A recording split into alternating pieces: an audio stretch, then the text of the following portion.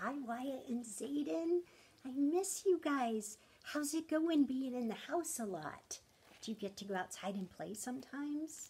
Do you get to go draw with sidewalk chalk? Have you been out to play in the snow? There's a lot of snow today, isn't there? Well, I miss you guys so much, so I decided I would read you a story from afar. So even though you can't get to the library and I can't get to the library, we could still have little story times together. So I decided to read you a book called Bark George. This book doesn't have a regular cover on it because it got torn when my girls were really little. In fact, you can see how my Haley colored on the book. You're not supposed to color on books, are you? But she didn't know that. She was so little. But this is called Bark George because George is the name of the dog. More scribbles from Haley. Silly Haley. Here's George. Here we go. Bark, George. So this is George, and this is George's mama. George's mother said, Hmm, what do you think she says? She says, Bark, George. George went, Meow. Wait a minute. Is that what dogs say? Is that a bark? No. What kind of animal says meow? That's right, a kitty says meow. No, George, said George's mother. Cats go meow, dogs go arf. Now bark, George. George went quack, quack. Is that what dogs say? No. No, George, said George's mother. Dogs or ducks go quack, quack. Dogs go arf. Now bark, George. George went oink.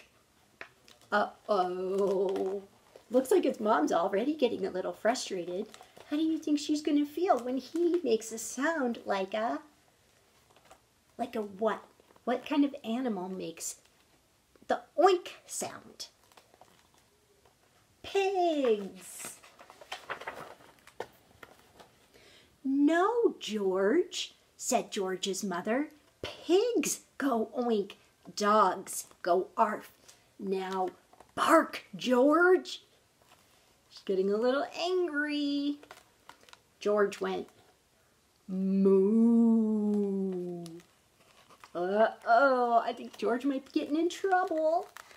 So, George's mother took him to the vet. I'll soon get to the bottom of this, said the vet.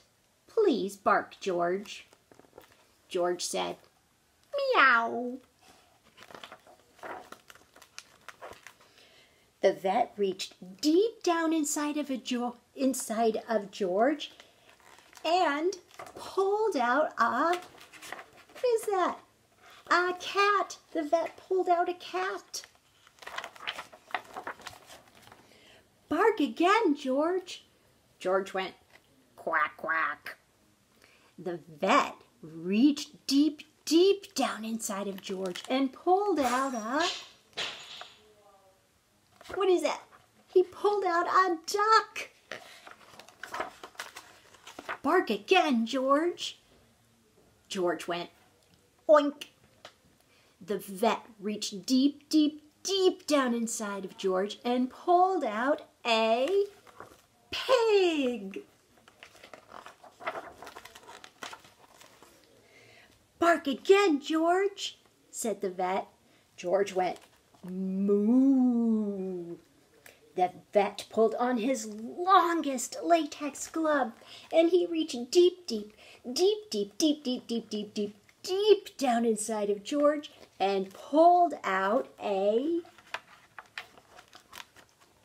cow. Oh my goodness. How do you think George got a cow inside of him? That's pretty silly. Bark again, George. George went, arf. Oh my gosh. How do you think the doctor and the mama are feeling? They're so happy. George's mother was so thrilled that she kissed the vet and the cat and the duck and the pig and the cow. On the way home, she wanted to show George off to everyone on the street. So she said, Bark, George! And George went. What do you think? Do you think he's going to arf? Is he going to bark? George went. Hello. Oh my goodness, George. People say hello, not dogs.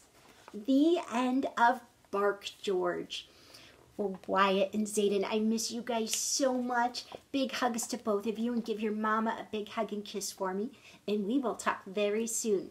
Let me know if you like this book, and if you want, I'll send you more videos. I love you. Bye.